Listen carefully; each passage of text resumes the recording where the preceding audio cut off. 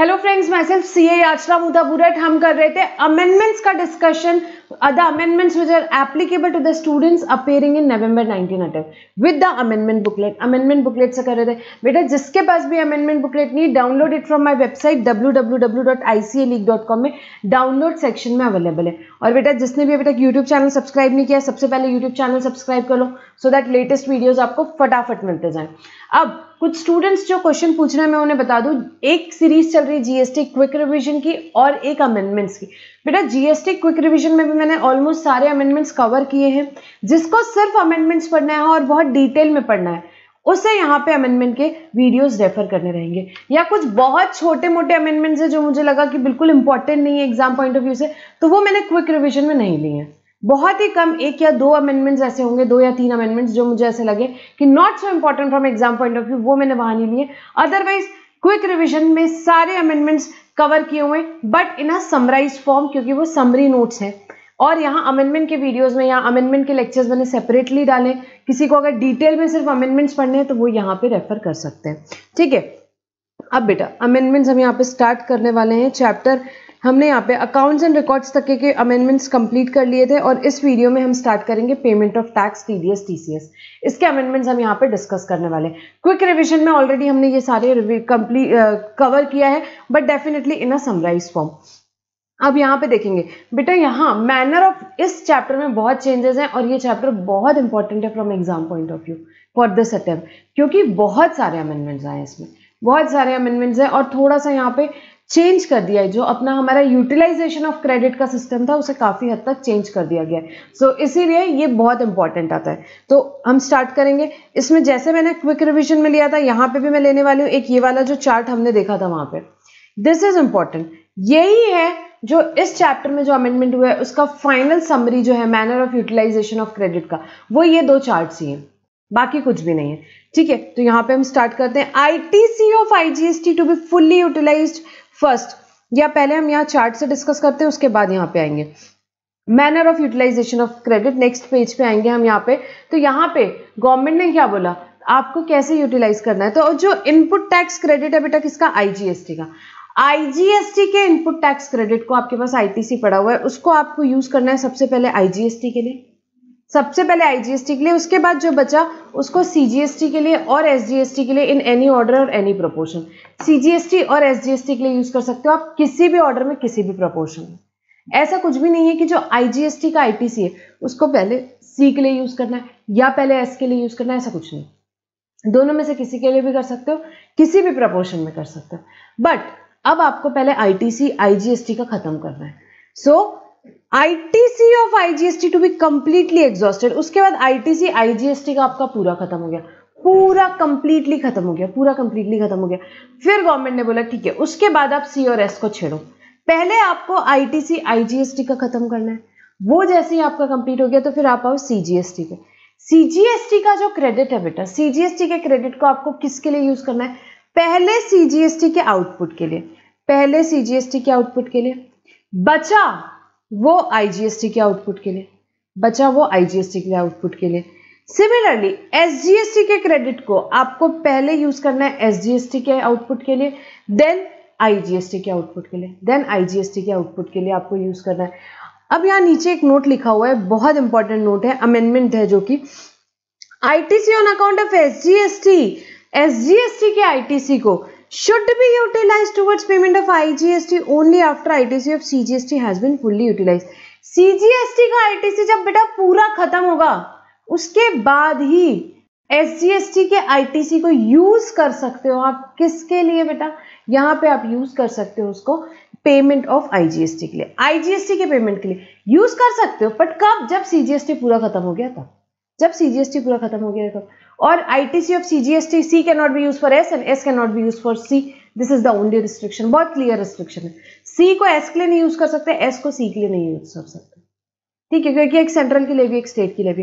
तो in short यहाँ पे हमने क्या पढ़ा? एक बार हम देखेंगे manner of utilisation of credit सबसे पहले आप किसका उठाओगे? आपके एग्ज़ाम में प्रॉब्लम आया। आपको देखना है आईजीएसटी का आईटीसी कितना है। जितना भी आईटीसी है, उसको सबसे पहले यूज़ करना है किसके लिए? आईजीएसटी के पेमेंट के लिए।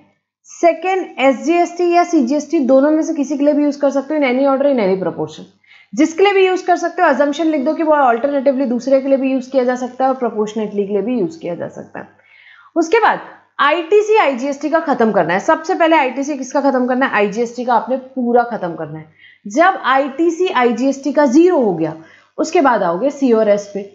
सीजीएसटी के आईटीसी को यूज़ करना है पहले सीजीएसटी के पेमेंट के लिए सीजीएसटी के पेमेंट के बाद आईजीएसटी के पेमेंट के लिए और एसजीएसटी के भी आईटीसी को यूज़ करना है एसजीएसटी के पेमेंट के लिए और आईजीएसटी के पेमेंट के लिए बट यहाँ इनपुट टैक्स क्रेडिट अगर यहाँ पे एसजीएसटी के इनपुट टैक्स क्रेडिट को आप आईजीएसटी के लिए तभी यूज़ कर सकते हो जब आपका सीजीएसटी का खत्म हो गया जब आपका सीजीएसटी का इनपुट टैक्स क्रेडिट खत्म हो गया ठीक है तभी आप आईटीसी एसजीएसटी का आईजीएसटी के लिए यूज़ कर सकते हो and C use for S and S can not be use for C C can not be use for S and S can not be use for C this is the only restriction this is the only restriction ठीक है?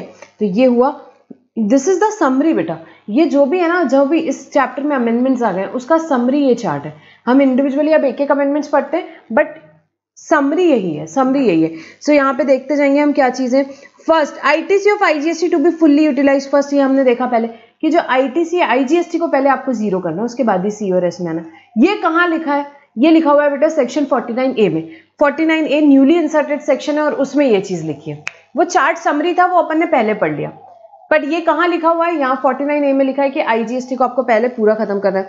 The CGST amendment act has inserted a new section 49 A utilisation of ITC subject to certain condition Notwithstanding anything contained in 49 ITC on account of CGST, SGST, UTGST shall be utilized towards payment of IGST, CGST, SGST only after ITC available on account of IGST has been fully utilized towards such payment. यहाँ पे कुछ नहीं लिखा है लिखा हुआ है कि पहले आपको पूरा का पूरा ITC यूज़ करना है किसका IGST का यूज़ करना है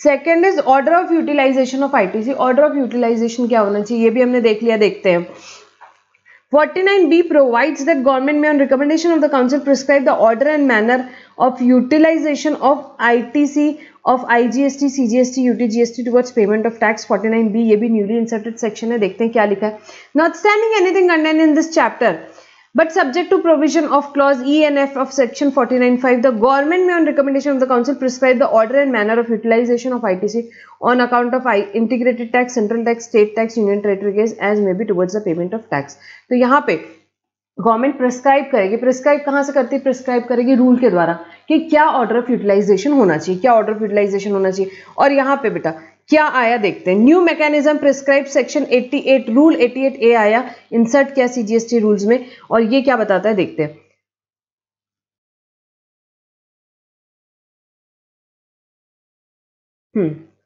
द अमेंडमेंट ऑफ़ सेक्शन 49 ऐसा ये ऊपर एक रह गया। The 49 B also starts with non obstante clause that notwithstanding anything contain in this chapter notwithstanding मतलब क्या होता है बेटा कि पूरे चैप्टर को ओवर रूल कर रहा है। But The provision of 49B would prevail over the provisions contained in chapter 10 payment of tax. However, utilization of C ITC of CGST for payment of SGST and vice versa will not be prescribed. क्यों क्योंकि वहाँ लिखा हुआ है ना subject to provisions यहाँ subject to provisions of clause E and F of 49.5 49.5 E और F में क्या लिखा हुआ है कि C not be use for S and S can not be use for C तो वो तो बरोबर है वो वो ही रहेगा उसके अलावा 49 में 5 में जो है उन सबको भी ओवर रूल करता है यहाँ पे 49 B 49 B ठीक है, अब एक ऑर्डर आया है बेटा इन शॉर्ट रिमेंबर आपको याद क्या रखना है, वो चार्ट याद रखना है। एक बार हम जस्ट दो दो मिनट सब चीज़ें डिस्कस कर ले जो न्यूली इंसर्टेड है।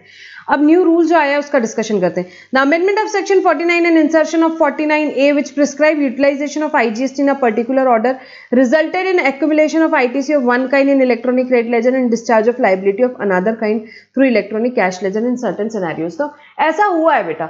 कि यहाँ पे जो आपको प्रिस्क्राइब किया इन्होंने कि भाई आईजीएसटी को पहले पूरा आप खाली करो। तो हो सकता है कि आपके पास कुछ आईटीसी पड़ा है बट फिर भी आपको कुछ कैश में पे करना पड़ रहा है। दिस इज़ क्वाइट पॉसिबल यहाँ पे एक काम करो नेक्स्ट पेज में आओ सीधे सीधे हम लोग देखते हैं कि नए रूल में क्या बोला हुआ है। So the new rule provides that ITC of IGST should be first utilise towards the payment of IGST IT IGST का जो आईटीसी उसको आईजीएसटी के लिए यूज़ करता है। Remaining of ITC of IGST can be utilise towards the payment of CGST UGST in any order ITC यहाँ पे हमने देख लिया कि उसके बाद जो आईटीसी बचता है, उसको आपको कैसे यूज़ करना है, आप यूज़ कर सकते हो उसको। पहले यहाँ पे आईटीसी आई सीजीएसटी के लिए सीजी यहाँ पे आईटीसी जो बच गया, वो जो आपका बचा, आप उसको यूज़ कर सकते हो या तो सीजीएसटी के लिए या एसजीएसटी के लिए any order any proportion and ITC of CGST SGST can be utilise towards the payment of ITC payment of IGST CGST UT GST only after IGST और यहाँ पे आईजीएसटी जब आपका पूरा खाली हो गया, उसके बाद ही आप सी और एस को छेड़ोगे। तो बेटा, ये सारा कुछ वही अपन एक काम करते हैं। यहाँ पे फटाफट एक प्रॉब्लम देखते हैं, उससे क्लियर होगा। ठीक है? नेक्स्ट पेज में आएँगे हम। The following illustration would further amplify the impact of the newly inserted rule 88a the amount of ITC available and output tax liability under different head of tax तो आपकी output tax liability और input tax credit under IGST CGST SGST UTGST हुआ है ठीक है ये दिया हुआ है अभी आपके पास क्या ऑप्शन है आप किस तरीके से डिस्चार्ज करोगे तो यहाँ पे हम देखते हैं फ़र्स्ट ऑप्शन हमारा सबसे पहले तो क्या करना है आईजीएसटी खाली करना है आईजीएसटी खाली करना है तो आईजीएसटी का यहाँ पे आईटीसी आपके पास कितना है 1300 का आईटीसी है। लाइबिलिटी कितनी है? वन थाउज़ेंड की लाइबिलिटी है। तो सबसे पहले तो आईजीएसटी के, बेटा आईजीएसटी के क्रेडिट को सबसे पहले किसने यूज़ करना है? आईजीएसटी के लिए। तो मैंने डिस्चार्ज कर दी। Discharge of liability output liability of IGST one thousand मैंने कर दिया। देन ये हो गया मेरा कंप्लीट क्लियर हो गया वन थाउज़ेंड देन सीजीएसटी मैंने क्या किया? इसमें टू हंड्रेड डिस्चार्ज कर दिया हंड्रेड एसजीएसटी कर दिया। कर सकते हो हाँ बिल्कुल कर सकते हो, कोई दिक्कत नहीं। सी और एस दोनों को आप हंड्रेड हंड्रेड कर हंड्रेड कर सकते हो, किसी को दो सौ कर सकते हो, किसी को सौ C G S T two hundred कर सकते हो S G S T hundred कर सकते हो S G S T two hundred कर सकते हो C G S T hundred कर सकते हो वन फिफ्टी वन फिफ्टी कर सकते हो, कोई भी ऑर्डर में, कोई भी प्रपोर्शन में डिस्चार्ज कर सकते हो। ठीक है? नाउ इसके बाद क्या हुआ? ये थर्टीन हंड्रेड रुपीज़ हमारे क्लियर हो गए। Thirteen hundred rupees I G S T जो है आईजीएसटी का आईटीसी खत्म हो गया। इसके बाद आपको किसमें आना है? सी और एस में। So after the ITC of IGST has been completely exhausted CGST आया आपके पास। सीजीएसटी आपका कितना पेमेंट करना था? 300 करना था। 300 में से 200 आपने ऑलरेडी डिस्चार्ज कर दिया। तो हंड्रेड रुपीज़ और सीजीएसटी का डिस्चार्ज कर दिया। हमारा सीजीएसटी भी पूरा क्लियर हो गया। सीजीएसटी भी मेरा पूरा क्लियर हो गया। सीजीएसटी में क्रेडिट था? हाँ। 200 का क्रेडिट था, जिसमें से 100 मैंने यूज़ कर दिया। 100 का बैलेंस कैरी फॉरवर्ड हो गया। बैलेंस कैरी फॉरवर्ड हो गया हंड्रेड का। इसके बाद नेक्स्ट बेटा S G S T UT G S T S G S T UT G S T की अगर हम बात करें तो यहाँ पे एस जी एस टी का क्रेडिट आपके पास कितना था? यहाँ पे एस जी एस टी का क्रेडिट टू हंड्रेड है। टू हंड्रेड में से बेटा आपने आउटपुट टैक्स लाइबिलिटी आपकी कितनी है यहाँ पे? थ्री हंड्रेड की थ्री हंड्रेड की है। जिसमें से हंड्रेड रुपीज़ ऑलरेडी आप आई जी एस टी से डिस्चार्ज कर चुके हो। तो बची liability S G S T की कितनी? 200 वो आपने डिस्चार्ज कर दी। वो आपने कहाँ से डिस्चार्ज कर दी? एसजीएसटी के क्रेडिट से। एसजीएसटी के क्रेडिट से डिस्चार्ज कर दी। तो यहाँ पे आपका एसजीएसटी का कुछ भी क्रेडिट नहीं बचा। एसजीएसटी का क्रेडिट आपका यहाँ पे ज़ीरो हो गया क्योंकि 200 का था, आपने 200 यूज़ कर लिया। और हंड्रेड रुपीज़ यहाँ पे आपका क्या बच गया? आईटीसी बच गया। किसका? सीजीएसटी का। सीजीएसटी का आईटीसी कैरी फॉरवर्ड हो जाएगा।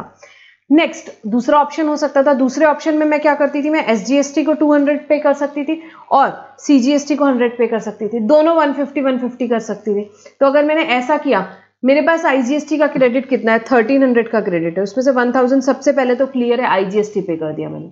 आईजीएसटी पे कर दिया। बचा 300 300 में से 100 मैंने क्या कर दिया? सीजीएसटी पे कर दिया। 200 मैंने एस एसजीएसटी पे कर दिया। आईजीएसटी मेरा क्लियर हो गया। उसके बाद सी और एस बचा। सी और एस सी का क्रेडिट कितना है? सी का क्रेडिट बेटा 200 का है। 200 का है तो मेरा 200 मुझे लाइबिलिटी भी टोटल 300 की थी। 100 मैंने डिस्चार्ज कर दी 200 और एडिशनल मैंने डिस्चार्ज कर दी। एंड एसजीएसटी का क्रेडिट भी 200 है। 200 200 है। मैंने ऑलरेडी यहाँ पे, मैंने ऑलरेडी यहाँ पे लाइबिलिटी कितनी है? 300 की। 200 मैंने आईजीएसटी से डिस्चार्ज कर दी। तो 100 में किससे डिस्चार्ज कर सकती हूँ? 100 में डिस्चार्ज करूँगी एसजीएसटी से तो 100 का कैरी फॉरवर्ड होगा क्रेडिट तो दो, दोनों ऑप्शन में हुआ क्या बेटा? फ़र्स्ट ऑप्शन में एज सीजीएसटी मेरा क्रेडिट कैरी फॉरवर्ड हुआ हंड्रेड रुपीज़ का सेकंड ऑप्शन में एस एसजीएसटी कैरी फॉरवर्ड हुआ हंड्रेड रुपीज़ का। तो आप कोई भी ऑप्शन यहाँ पे एग्ज़ाम में कर सकते हो तो ऐसा कोई प्रैक्टिकल प्रॉब्लम एग्ज़ाम में बिल्कुल आ सकता है।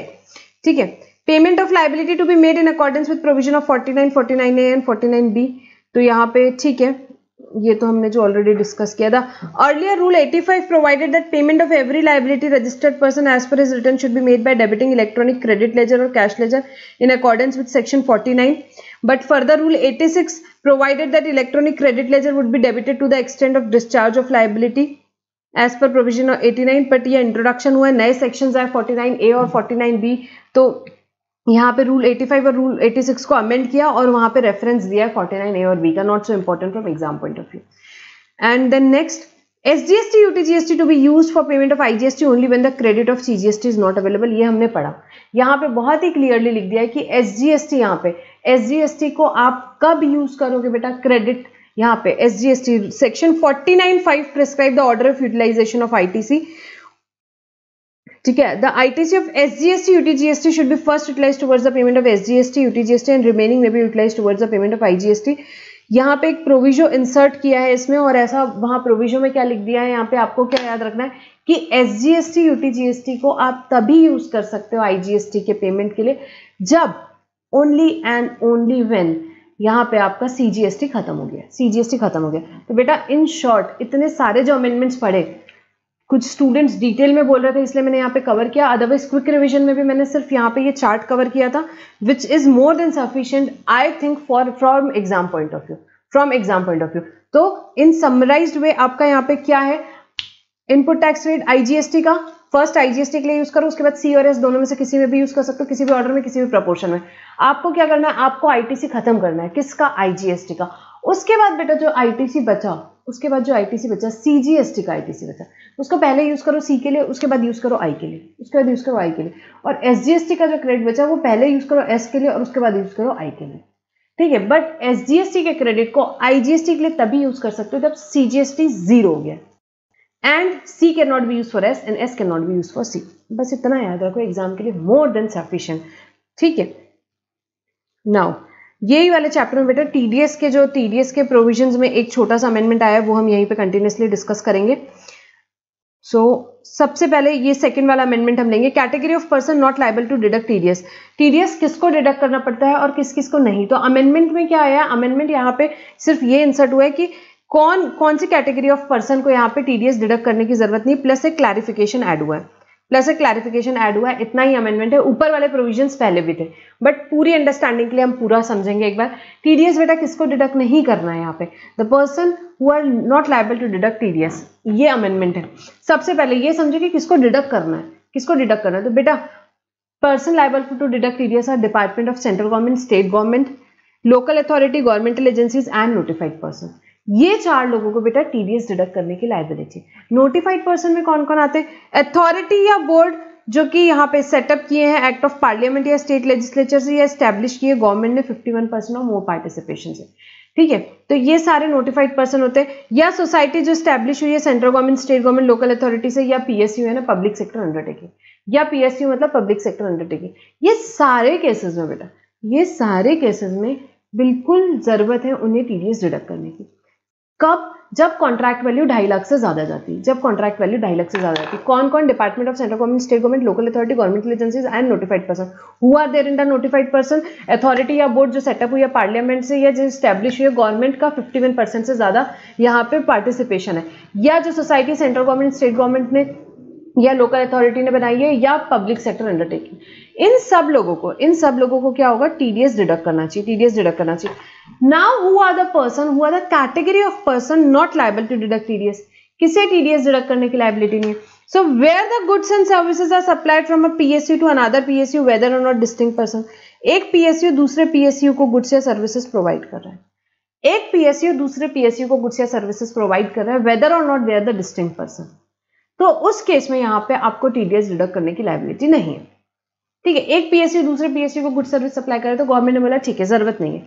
Second where the supply of goods and services takes place between one person to another specified in clause A to D यहाँ पे कौन आते हैं? यहाँ clause A B C D कौन है? ये एक्चुअली यहाँ पे है फिफ्टी वन के। सेक्शन 51 वन का ए टू डी एक्चुअली ये सारे लोग हैं। तो जब ये लोग एक दूसरे को प्रोवाइड कर रहे हैं department of central government state government local authority governmental agencies notified person अगर ये ए बी सी डी ये एक दूसरे को यहाँ पे गुड्स या सर्विसेज़ प्रोवाइड कर रहे हैं तो उस केस में भी टीडीएस डिडक्ट करने की लाइबिलिटी नहीं तो दो केसेस में नहीं है लाइबिलिटी कब पीएसयू जब पीएसयू को सप्लाई कर रहा है, या ये सारे लोग एक दूसरे को सप्लाई कर रहे हैं गुड्स या सर्विसेज़ तो उस केस में टीडीएस डिडक्ट करने की ज़रूरत लाइबिलिटी नहीं है। अदरवाइज़ अगर ये लोग गुड्स और सर्विसेज़ प्रोवाइड कर रहे हैं department of central government state government local authority governmental agencies या नोटिफाइड पर्सन और एक कॉन्ट्रैक्ट एक कॉन्ट्रैक्ट की वैल्यू ढाई लाख से ज़्यादा है तो उन्हें टीडीएस डिडक्ट करना पड़ता है। ठीक है? ये हमने टीडीएस के लेक्चर में बहुत अच्छे से पढ़ा था। प्लस एक छोटा सा क्लैरिफिकेशन है this is not so important but read कर लेते हैं। It has been clarified that the provision of section 51 are applicable only to authority or board कौन से अथॉरिटी या बोर्ड को लगता है? Which is set up by an act of parliament or state legislature establish by government in which fifty or more participation by of equity or control is with the government जहाँ पे percent equity या control किसका है? Government का। तो ये छोटा सा क्लैरिफिकेशन है। थोड़े बहुत इंडस्ट्री में डाउट चलते रहते हैं तो गवर्नमेंट ये क्लैरिफिकेशन देते रहते हैं। ठीक है? अब एक अमेंडमेंट और है यहाँ पे हम देखेंगे। टीसीएस से related Details of supply furnished by ecom operator to be matched with corresponding detail furnished by supplier under section 37 और 39 of CGST Act. तो यहाँ पे सेक्शन 51 किससे रिलेटेड था? टीडीएस से related 52 is relating to what यहाँ पे ई कॉम ऑपरेटर जो टीसीएस कलेक्ट कर, कलेक्ट करता है। उससे रिलेटेड है। तो यहाँ पे उसके डिटेल्स जो वो फर्निश कर रहा है, उसने मैच करेगा वो सप्लायर के रिटर्न से। सिर्फ़ इतना सा छोटा सा अमेंडमेंट है। क्या है देखते हैं। Section 15 to 9 of CGST which prescribe the provision for dealing with the discrepancy in case of matching of details has been amended so as to include the reference of section 39 39 किसका है? हमारा normal return जो furnish करते वो क्या है? Section 39 का। The amended provision read as where the details of outward supply furnish by operator under section under subsection 4 do not match with the corresponding detail furnished by the supplier the discrepancy shall be communicated to both the person in the manner and within such period as may be prescribed therefore details of supplier furnished by ecom operator shall be matched with the corresponding details supplied by the supplier in gstr1 or the return prescribed under section 39 तो यहाँ पे जो supplier है supplier भी वो returns में details डालेगा और ई कॉम ऑपरेटर भी डालेगा तो उन दोनों के रिटर्न्स को यहाँ पे मैच किया जाएगा और डिस्क्रिपेंसी अगर होगी तो दोनों को कम्युनिकेट किया जाएगा बहुत छोटा सा अमेंडमेंट है not important from exam point of view only the amendment which are important इस चैप्टर में आपको वो चार्ट याद रखना है प्लस ये टीडीएस का प्रोविज़न जो है, ये आपको याद रखना है। ये दो ही इंपॉर्टेंट अमेंडमेंट है। ठीक है बेटा? तो यहाँ पे हम कंप्लीट करते हैं हमारा chapter which was regarding T D payment of tax and अब यहाँ पे हम कंटिन्यू कर लेते हैं हमारे रिटर्न्स वाले अच्छा ठीक है। हाँ यहाँ पे हम कंटिन्यू कर लेते हैं हमारे जो रिटर्न्स वाला चैप्टर है, उसके जो अमेंडमेंट्स है, वो हम यहाँ पे ही कंटिन्यू कर लेते हैं।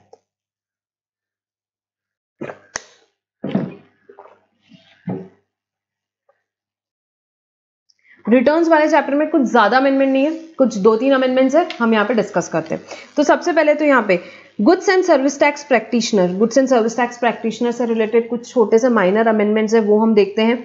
तो time period available to sales tax practitioner, tax return preparer enrolled as GSTP to pass the examination conducted by NACIN increased from 18 to 30 months, यहाँ पे उनका टाइम लिमिट जो इंक्रीज किया है, उसकी बात हुई है पढ़ेंगे। As per rule 83 of CGST rules any person who been enrolled as GSTP goods and service tax practitioner जैसे जो लोग एनरोल होते हैं by virtue of being enrolled as sales tax practitioner या टैक्स रिटर्न प्रिपेयर थे वो पुराने indirect tax law में under indirect tax law could remain enrolled as GSTP only for a period of 18 months from the appointed date unless he passed the examination conducted by NACIN that is National Academy of Custom, Indirect Taxes and Narcotics within the set period of 18 months. The sub-rule has been amended to provide that sales tax practitioner and tax return preparer shall be eligible to remain enrolled as GSTP only if he passes the said examination within 30 months from the appointed date. बेटा कुछ भी नहीं है छोटा सा provision है क्या कि भाई पहले ऐसा था कि जो लोग पुराने इंडायरेक्ट टैक्स लॉ में सेल्स टैक्स प्रैक्टिशनर हुआ करते थे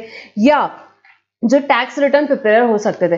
तो उन्हें बोला था कि ठीक है अपॉइंटेड डेट से यहाँ पे आप 18 मंथ्स के अंदर अंदर 18 मंथ्स के अंदर अंदर आपको यहाँ पे आप रह सकते हो जीएसटीपी आपने वो एग्ज़ाम नहीं दिए तो भी। बट अभी वो प्रोविज़न को चेंज किया और 18 मंथ्स को 30 मंथ्स कर दिया कि आप 30 मंथ्स तक के रह सकते हो और तब तक आपको वो एग्ज़ाम पास करनी रहेगी। नॉट सो इंपॉर्टेंट ये वाला अमेंडमेंट देख लेते हैं। आगे का अमेंडमेंट डेफिनेटली इंपॉर्टेंट जीएसटी भी प्रैक्टिशनर के मैंने सारे अमेंडमेंट्स एक साथ में यहीं पे ले लिए। GST practitioner enable to perform other prescribe function as well पहले बेटा कुछ लिमिटेड फ़ंक्शन हुआ करते थे, यहाँ पे ए से ई e जो दिए हुए।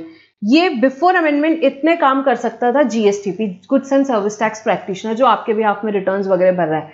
अभी वहाँ पे कुछ एडिशनल फ़ंक्शंस वो परफॉर्म कर सकता है, वो भी अमेंडमेंट में आ गए और ये सारे जो फ़ंक्शंस दिए हुए हैं नीचे में, ये सारे फ़ंक्शंस वो एडिशनली अभी परफॉर्म कर सकता है, कर सकता है, ठीक है तो अभी देखेंगे हम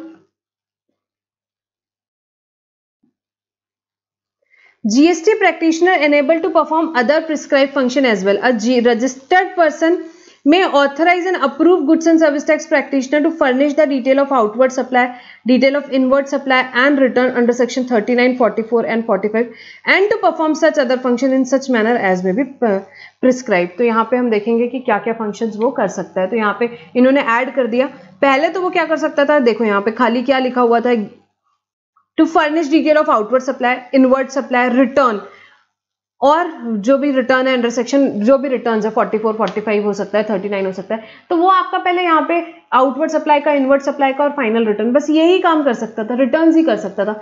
बट यहाँ पे और फ़ंक्शंस क्या इंटरेस्ट किए हैं वहाँ पे हम देखते हैं। अब scope of activity that can be undertaken by GSTP enhanced A GSTP could undertake any or all of the following activities on behalf of a registered person if so authorized. Authorized, registered person. मैं registered person हूँ मुझसे नहीं होता है return return मुझे नहीं आते यार मेरे को मैं सीए थोड़ी ना हूँ फॉर एग्ज़ाम्पल तो उस केस में मैंने आपको जीएसटी पे अपॉइंट किया, मैंने यार, आप प्लीज़ मेरे रिटर्न्स वगैरह फ़ाइल कर दो और ये सारे काम के लिए मैं आपको ऑथराइज कर सकती हूँ। तो जीएसटीपी को मैं किस किस के लिए ऑथराइज कर सकती हूँ? सबसे पहले furnish the detail of outward and inward supply मेरा जीएसटी आर वन टू आप कर सकते हो, कोई दिक्कत नहीं। डिटेल ऑफ़ आउटवर्ड सप्लाई आप फर्निश कर दो इनवर्ड सप्लाई फर्निश कर लो। Furnish monthly quarterly annual final return मेरे सारे एनुअल रिटर्न हो गए मंथली रिटर्न हो गए, सारे मैंने ऑथराइज कर दिया। आप मेरे सारे रिटर्न फ़ाइल कर सकते हो। Make deposit for credit into electronic cash ledger मेरे भी आप में कैश डिपॉजिट कर सकते हो। File a claim for refund मेरा रिफंड क्लेम कर सकते हो। यार ये नॉर्मली हर इंसान को थोड़ी ना आते हैं ये सारे काम, हर बिजनेसमैन को। तो ऑब्वियसली वो किसी ना किसी को देते हैं ये काम। तो वो जीएसटीपी प्रैक्टिशनर को ये सारी चीज़ों के लिए ऑथोराइज करते हैं। File an application for amendment or cancellation of registration तो बेटा यहाँ तक के तो पहले की पोजीशन है। बिफोर अमेंडमेंट ऑल्सो इतने काम जीएसटीपी कर सकता था। अब क्या कर सकता है? Furnish information for generation of e way bill e way bill के जनरेशन पे इन्फॉर्मेशन फर्निश कर सकता है। Furnish details of challan in the prescribe form यहाँ पे। चालान जो भी है वो वहाँ पे चालान फिल कर सकता है। File an application for amendment cancellation of enrollment under rule 58 and file an intimation to pay tax under composition scheme or withdraw from the said scheme. तो ये सारे काम भी अब जीएसटीपी कर सकता है। अब जीएसटीपी कर सकता है। तो आपका वो ई वे बिल की इन्फॉर्मेशन उसे फर्निश करनी हो चालान आपके वहाँ पे उसे देने हो, या कंपोजिशन स्कीम में जाना हो, या विड्रॉ करना हो तो ये सारी चीज़ें अभी जीएसटीपी बिल्कुल कर सकता है। ठीक है? तो ये बहुत अच्छा और इंपॉर्टेंट अमेंडमेंट है। Now as per section 35 read with rule 58 of CGST rules यहाँ पे देखो जीएसटी प्रैक्टिशनर को यहाँ पे एच पॉइंट में दिया हुआ था file an application for amendment or cancellation of enrolment under rule 58 तो यहाँ पे रेफरेंस दिया हुआ है कि भाई रूल 58 में क्या है?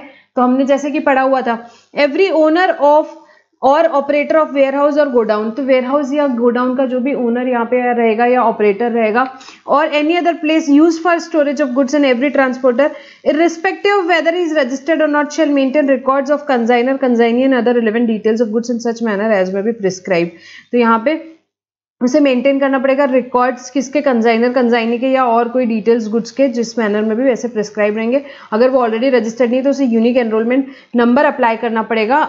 इलेक्ट्रॉनिकली जीएसटी कॉमन पोर्टल से तो वो अप्लाई कौन कर सकता है? यहाँ पे अभी जीएसटीपी भी कर सकता है। ठीक है, अब नेक्स्ट है जीएसटी आर फोर यहाँ पे। कंपोजिशन स्कीम का चैप्टर पढ़ा था, अगर आपको याद हो तो। ठीक है कंपोजिशन स्कीम में जो लोग यहाँ पे रजिस्ट्रेशन लेते हैं, उनसे रिलेटेड कुछ फॉर्म यहाँ पे और रिटर्न्स में जो आया है अमेंडमेंट वो हम यहाँ पे डिस्कस करेंगे। ठीक है so GST R four statement and return for composition supplier or person paying tax by availing benefit of notification number two by nineteen हमने टू बाय नाइनटीन देखा था, आपको याद है concessional rate three percent plus three percent six percent वाला। तो composition scheme वालों के लिए या notification number two by nineteen वालों के लिए, यहाँ पे कुछ अमेंडमेंट हुआ है रिटर्न से रिलेटेड देखते हैं। उनके लिए एक स्पेशल प्रोसीजर आई है उन्हें रिटर्न फ़ाइल करने की। Special procedure for furnishing return and payment of tax has been prescribe for the following person registered person paying tax under composition scheme or persons paying tax by availing the benefit of notification number two by nineteen ये हमने देखा था। So such person shall furnish a statement in the prescribe form containing details of payment of self assessed tax for every quarter or part of the quarter by eighteen of the month succeeding the quarter तो यहाँ पे आपको क्या करना पड़ेगा? एक furnish करना पड़ेगा स्टेटमेंट एक प्रिस्क्राइब फॉर्म में। प्रिस्क्राइब फॉर्म में स्टेटमेंट फर्निश करना है आपको.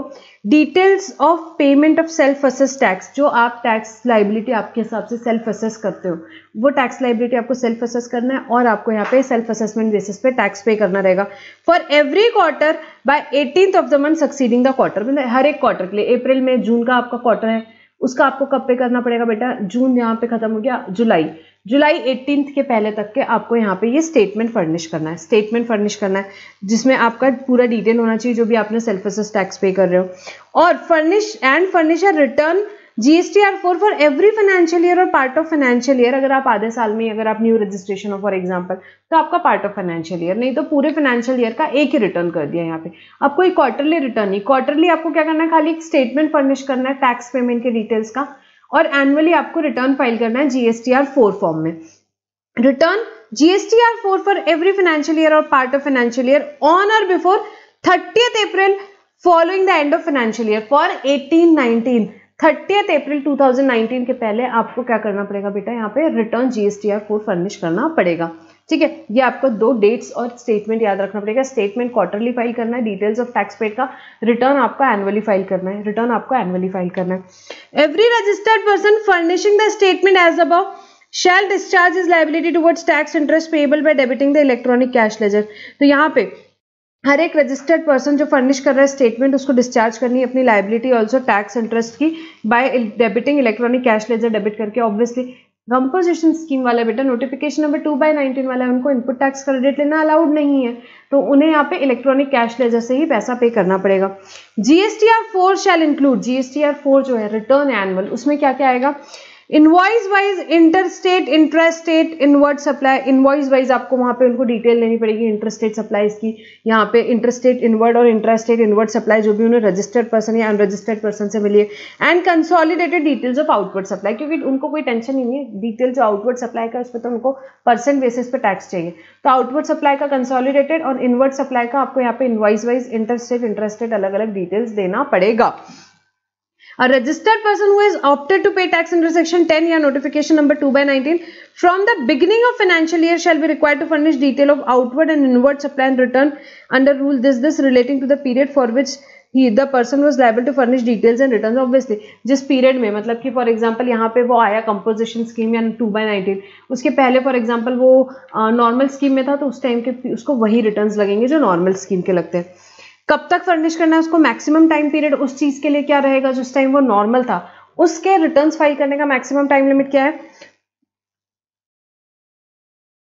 till the due date of furnishing return for the month of September succeeding the financial year that is 20th October or furnishing of annual return or of the preceding financial year whichever is earlier या जब तक आप 20th अक्टूबर और date of furnishing annual return whichever is earlier तब तक के वो जिस पीरियड में वो कंपोजिशन स्कीम में या टू बाय नाइनटीन में नहीं था उसके नॉर्मल रिटर्न फ़ाइल करने का मैक्सिमम टाइम लिमिट उसे दे दिया है Here the person shall not be eligible to avail ITC on receipt of invoice or debit note from the supplier for a period prior to opting for his composition scheme or paying tax by availing हमने देखा तो उसे ITC का benefit नहीं मिलता है and a person opting to withdraw from composition scheme at his own motion or where the option is withdrawn in the instant of proper officer wherever required जहाँ पे भी आप composition scheme से बाहर जा रहे हो खुद के चॉइस से या ऑफिसर ने आपको बाहर किया है तो दोनों भी केस में wherever required, furnish a statement in the prescribed form for the period which he has paid tax under composition scheme. तो उसे उसका स्टेटमेंट ऑब्वियसली फर्निश करना पड़ेगा। आप कंपोजिशन स्कीम से जा रहे हो बाहर तो भी कोई बात नहीं।